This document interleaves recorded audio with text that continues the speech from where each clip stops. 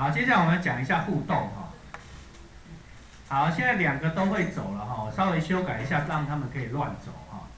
好，所以我可能要给他移动个角度。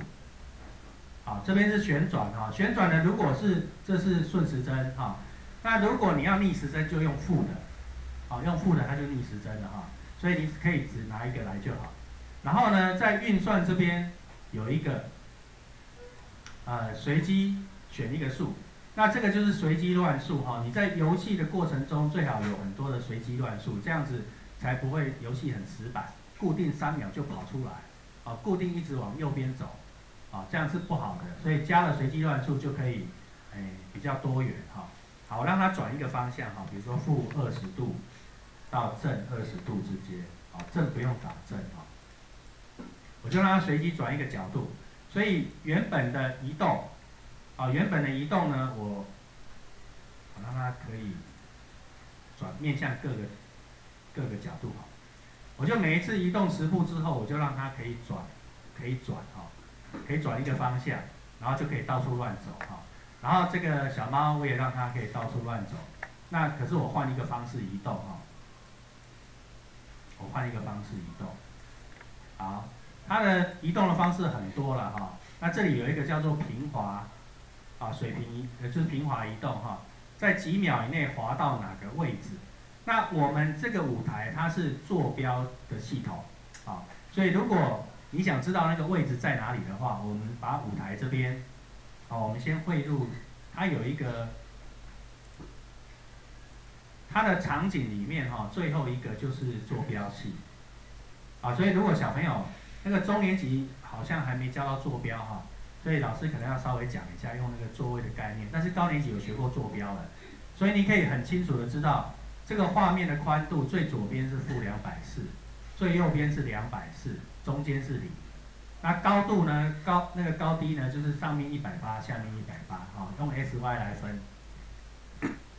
所以我的我的人如果要在画面各处移动的话，那我的小猫哈，我就把这个坐标，啊，这是滑到哪一个位置嘛？那我就把这个位置自己用乱数来定，比如说，我刚刚 S 的范围是。负的两百四到正的两百四，所以我给它的乱数的范围就是正两百四到负两百四。好，那 y 呢也是一样哈，y 是一百八到负的一百八，这个就是画面的范围。所以我如果给它这个范围的话，然后这个秒数我也让它快慢可以自己决定。啊，零秒到三秒，那如果零秒就是瞬间移动。啊，如果三秒就是慢慢走，啊，如果三秒，然后距离很远，它就走得更，很走很距离很近，它就走得更慢啊。好，所以我在这个滑行的部分，我把它放进来，好，然后我也让它可以各地旋转，来看一下哦，它们的移动就会变成这样。好，你看猫是水平移动，移动到某个位置再换下一个下一个位置，然后人就是。走了十步以后就可以转个大概左右各二十度，随便它看电脑叫它转几度，好，所以他们就会乱跑，对不对？好，所以我把为移动的部分稍微做了改进哈。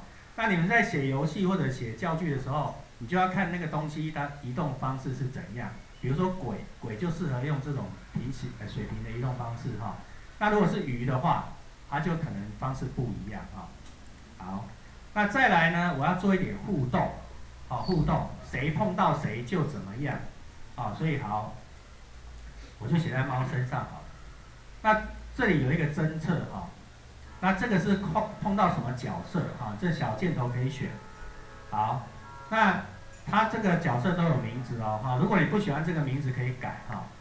好，怎么改呢？点这个小呃 information 哈，把名字直接换掉。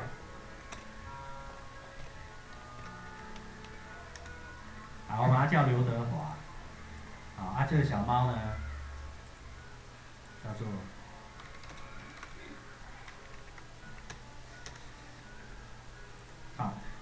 呃，角色都赋予它名字的话，你写成是比较容易写，不会弄错。好，那小猫如果去碰到刘德华，好，好这是小猫身上哦，所以小猫如果碰到刘德华，好，如果在控制这边，好，这六角形的就是布林的运算子，把它丢进来。如果你用这个还丢不进来哦，因为它是椭圆形的，不能丢进去哈。所以这里面是判断真或假，然后这个是一个数字，啊，所以你这样很，他这个都帮你做好，所以你不会放错哈。好，如果碰到刘德华就就干嘛呢？声音，啊，你可以喵一声，啊，这边这个是他内建的声音的的资料库，啊，那如果你不喜欢自己录，好，那前提是你要麦克风要插好。哎呦，哎呦。啊，这样子哈，这个就是哎呦哈，你名字可以改一下。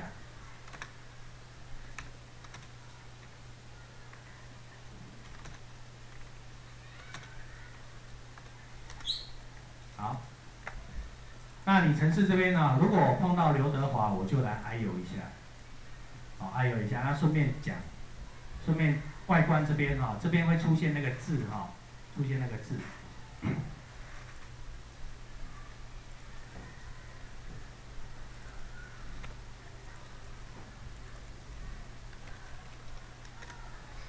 好，那这件事情我让他独立做侦测，所以我要点绿旗嘛哈。可是如果这样子呢，程式一开始他就只判断一次，做完之后就不做了，就没有了。那你可能一开始没有碰到，你就永远不会再碰到了。